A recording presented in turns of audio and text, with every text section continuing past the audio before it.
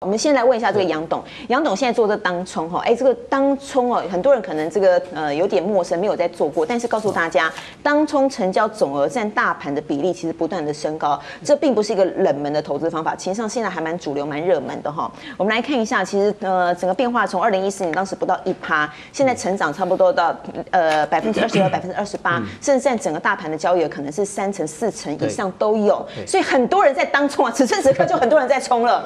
对，当冲跟大家解释一下，适合一般人吗？因为我觉得当冲，当然你要盘中有办法，就是这个关盘了，就是你要能盯盘。对。那其实就算你不能当冲，你还是可以透过所谓的隔日冲，也就是说我可以这个中午休息时间进场，然后隔天的开盘前我出场。这是当冲就今天买今天卖，隔日冲今天买明天再卖，好，就是很冲的意思。对。嗯，你的方法可以一天两趴，这是十分吸引人的。怎么做到的？其实，在这个这个方法已经从二零零四年我就已经做到现在，都没有失误吗？哎，一定会有失误，因为你胜有胜率就有败率嘛。对。所以这样的一个过程，大概它的胜率可以到八成，也就是说十次会有两次的呃败。大家还要上班吗？一天两趴？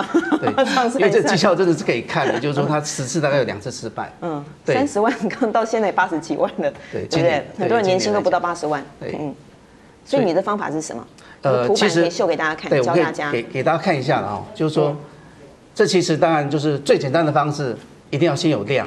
那其实预估量我在很早，我在两千年，零两千零四年就发展出来。以前是有大盘的预估量嘛，嗯，就是预估大盘到收盘会有多少量。对。那我是从这个开盘以后就预估所有股票会到收盘会有多少量。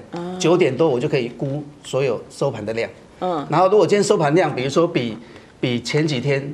它的平均值来讲，爆量超过两倍，代表今天一定有人在里面。嗯，对，那这个基本上它的爆发性可能是大涨或大跌的几率就到高了。那所以我呃涨两趴以上我就进场。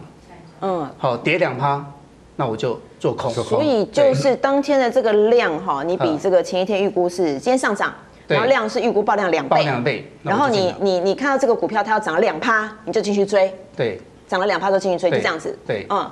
然后跌就是跌两趴以上，爆量跌两趴以上，我就进去空这样子。哦，爆量的话是这个前面哦下杀，这是这个量是放大到一点五倍的时候，一样跌两盘就下去。啊，你举例来跟大家说明一下。像如果看到这个，像这个是呃二三二三一三嘛，嗯，最近几天很热门。那刚好我这个是在礼拜五抛出来，你看它在礼拜四的时候，八月十五号，它其实爆量几倍，爆量超过三倍。对。所以它在九点多的时候，事实上如果你二八点一进场。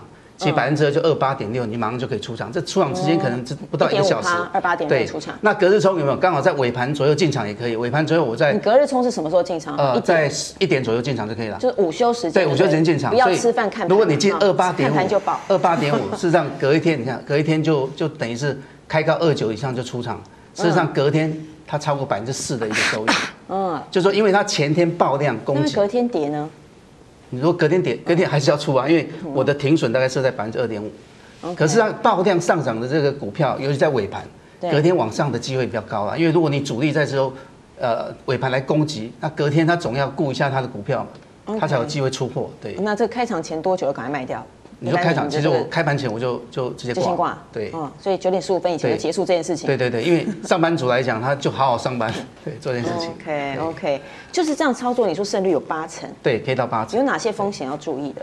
这个风险基本上当然就是你一定要把停损就是严格来执行了。对，停利要执行，停损要执行，因为停损你不执行，你这只股票如果跌了百分之二十，那还得了？那你要做十只才能来补一只。嗯，所以其实只是说一定要有停损这个概念。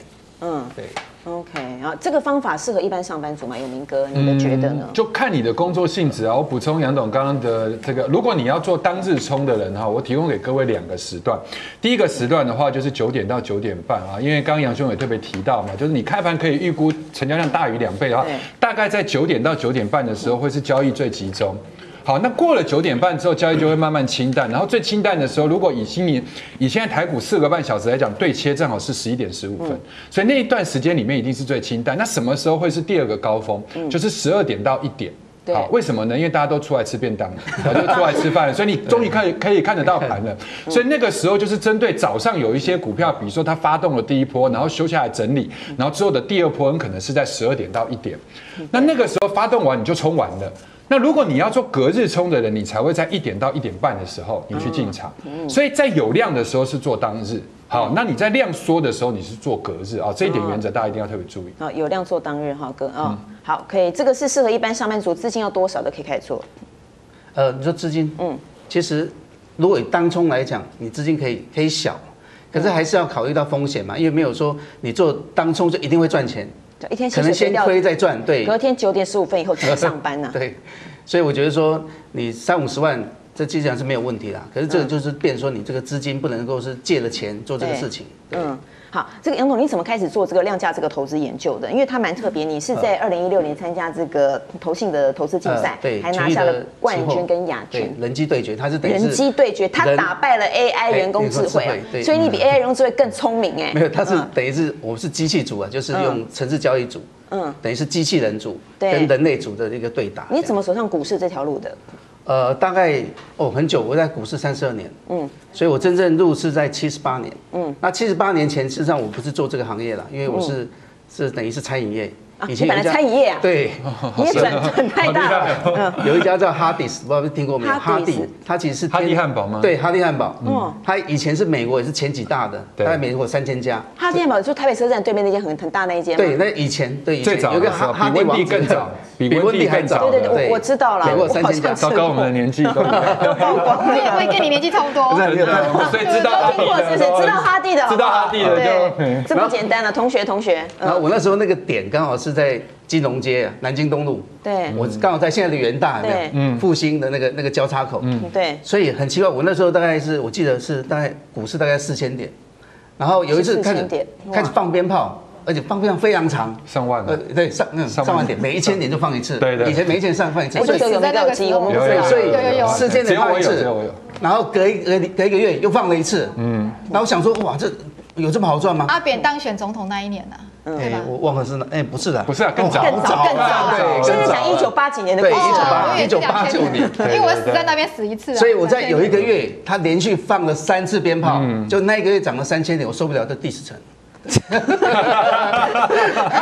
的受不了，每次这个炸一次你就开始就觉得我受不了，受不了，那一个月涨三千点，三千点，哇，真的受不了，当月涨三千，当月涨三千，真的，真的，所以跟你做汉堡什么相关呢？你在受不了什么？因为。因为你周遭的人基本上都是做股票，来买汉堡的人就做股票。哦，啊，餐厅都是做股票赚钱的，去吃边吃今天赚了多少多少，你那边折折汉堡越来越钱都不会收对，我那时候带了带五十万入市啊，就是也考了音乐执照，大概在二十年前。对，OK OK，啊，入市这有这么好赚吗？发现？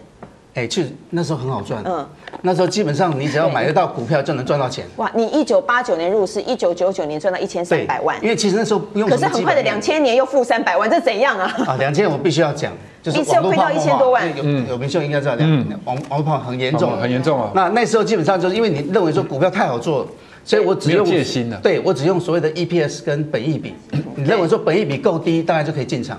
所以我进了一只叫做很好的华硕，好，华硕那时候八百多吧？对，过去没有，那时候我大概是三四百才进，三四百啊。那那一年跌到九十四，哇，本益比那时候的估估值本益比，我进场是二十二十倍本益比，你都没有停损出场，没有啊，还加嘛。还加嘛，还是摊平啊，对对摊平，好公司嘛，好公司啊，嗯，本一笔可以从二十几倍掉到剩下八倍多，嗯，对，嗯嗯，所以这一年，包括所谓的信用交易，包括二胎带了二胎跟朋友借钱，总共大概亏掉了大概一千三百多万，哇，超过一千三百多万，因为负债三百，因为等于是你还钱都不够还，你房子也卖掉哈，卖掉，嗯，车也卖掉，哇，这一年我差点跳楼了。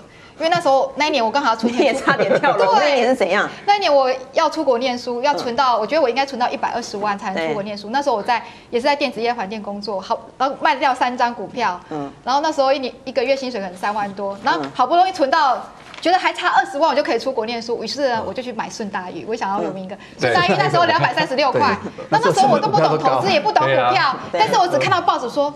他下个月要配一张股票，我说好好哦，我的两百四十三十六万可以变四十六万，那我就可以凑齐我那不足的二十万出国念书的钱。慢慢做梦了哈。对，我就很开心的 就买了一张股票，我就出去下班 出去英国念书的时候，下班学期要缴那个学费。我才发现它已经变地雷股，已经币值了。嗯，于是我只好去 Burger King 打工，又直接走到我每天要去在英国的时候，每天走到我要去买汉堡店。你们两个有共同点，都做汉堡。他跟他讲，我赔过钱，好不好？做汉堡赔过钱就会赚钱。因为我突然没有钱缴学费，我觉得我人生在英国不知道怎么过下去，于是我就走到那个汉堡店。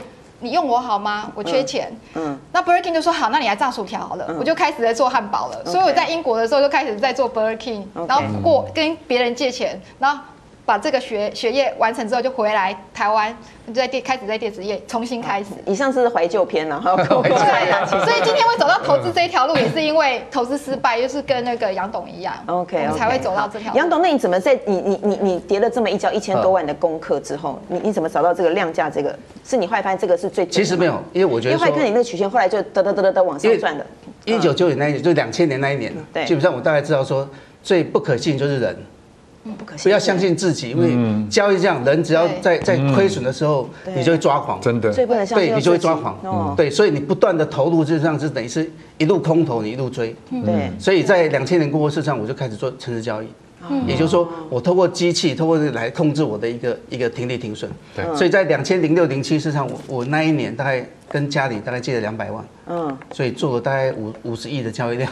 嗯哇，然后 那一年真的翻了大翻了大概两千万了，因为我等于是一直在做当冲，两百万信用信用开到六千万，所以我最高就一天就滚六千。你不怕吗？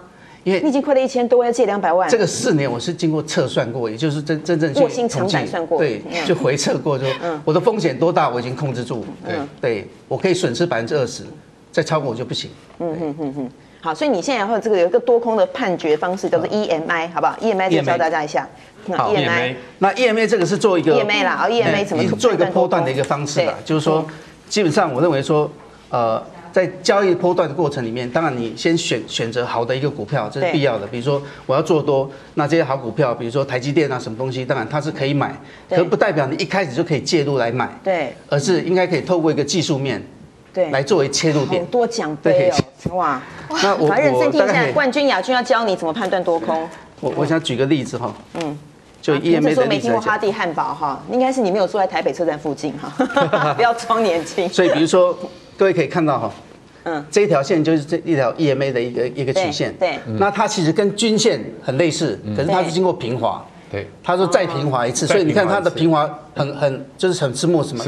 基本上就是说它的切入点就怎么样很少，嗯，你就不会来来回回刷洗，你会担心嘛，所以像这样你看这个泰硕，它经过这个大概已经快一年，大概四个月。它只有两次的一个交易，你们看到这两个点，对，两次的交易而已，所以一进，这里也一进，就是等于是两次的一个进场点。